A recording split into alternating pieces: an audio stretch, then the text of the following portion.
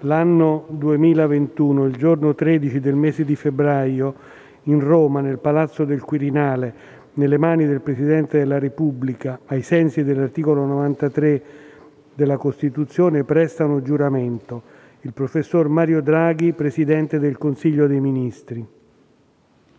Giuro di essere fedele alla Repubblica, di osservarne lealmente la Costituzione e le leggi e di esercitare le mie funzioni nell'interesse esclusivo della Nazione.